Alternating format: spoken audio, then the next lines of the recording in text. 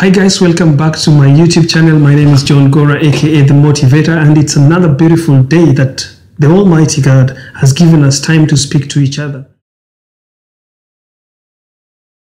One of the most successful business person uh, died in Kenya, and that is uh, uh, Mr. CK Chris Kirubi. And I've seen a lot of mixed reactions coming through on social media about Chris Kirubi, about his wealth, about his personality, about his achievements, and all that. People are not ready to take reality. People are not ready to take your success. People are not ready to see you go beyond what they have achieved. And uh, in most cases, you cannot do this peacefully. And if you're a person who has, uh, you know, uh, a small heart to say it, you cannot achieve what Chris Kirubi has achieved. You know, let's forget about um, the fallacy of talking about corruption, talking about theft of money, talking about robbing the, the, the country robbing the people.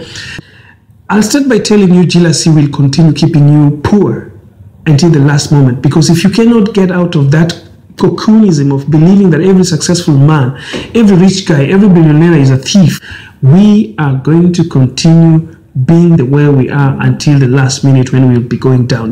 You know, the bitterness that people have with uh, those who have achieved, or uh, sometimes they're called wealthy people, is so real, you know, and it's even mentally tormenting some people. Some people are becoming depressed because of the wealth that others are making and what they have achieved in life because they are looking at it and they feel like they can't achieve what these people have achieved. And therefore, they're trying all means to do it, but they can't do it. So, the only remaining thing that they can do is to castigate them, is to call them names, you know, and it's leading some other people into depression, you know. Sometimes, you know, people say that uh, money can't buy life. Come on, guys Money can't buy life, yes, but money can help you to at least sustain your life, put your life into a better place. See, Chris Kirubi, just four years ago, was diagnosed uh, with cancer. And this guy has never called for a fundraiser to treat himself. Okay?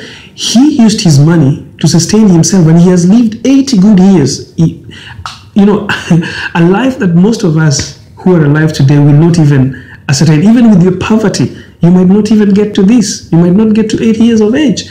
So let nobody cheat you that money can buy life. Yes, that's true. But you have to read in between the lines. It can buy life, but it can sustain your life. It can make you at least to buy some good fruits to live healthy. It can help you to you know get things done for you. You can use money to buy resources. You can use money to buy time. You know, it's possible. So I just wrote something here and I want to read it for you. Um, and let me just read this if uh, this will help. Uh, I was writing it on Facebook. I wanted to post it, but I felt like, no, let me just make a video and uh, read to you loud what you guys are supposed to be understanding when it comes to this. So I wrote this. Let me start by telling you jealousy will continue keeping you at the same level of poverty forever. The bitterness people have with achievers and wealthy people is so real and mentally tormenting some of us. Eti, money can buy life. Mara, he left the wealth and going with nothing. Come on, let's be real, okay? Money can buy many things in life. This guy died aged 80 and very few of us will make to this. Four years ago, he was diagnosed with cancer, visited most of the prestigious hospitals without even a single fundraising, okay? Because he had everything in place to facilitate that. Wewe, hata kichwa ikikuuma saa hii vile tunaongea, utatengeneza WhatsApp group ukituambia tukusaidie uende hosi. This guy has gone. Let's all accept that he has gone, okay? But he has left wealth and no hospital bills to be cleared by some other people.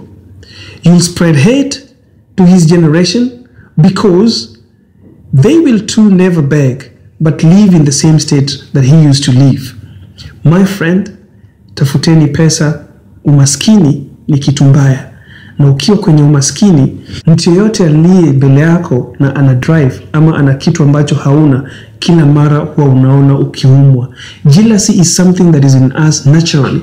So it is there. You will always feel jealous. But this is what I want to tell you. For you to remove jealousy from yourself, you have to work hard. You have to search, look for money. Work hard and get some cash. Getting cash is, doesn't mean you get millions of money, but get something that can sustain you, something that can make you buy what you wish to have.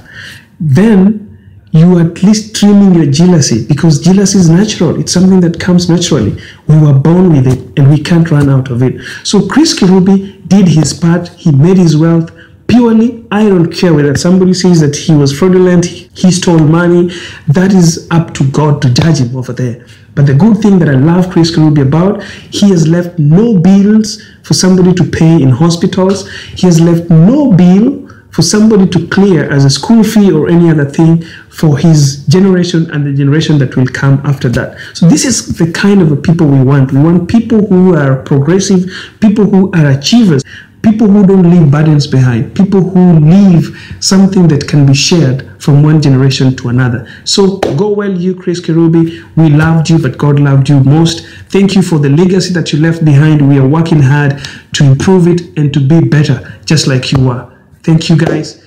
And if this is the first time that you're watching this video on my YouTube channel, don't forget to subscribe and also put the notification bell on so you can receive all that I do every time I publish them. Cheers guys, come closer and hey, keep smiling real. That is what we need. The world needs your kindness and your kindness will follow you back.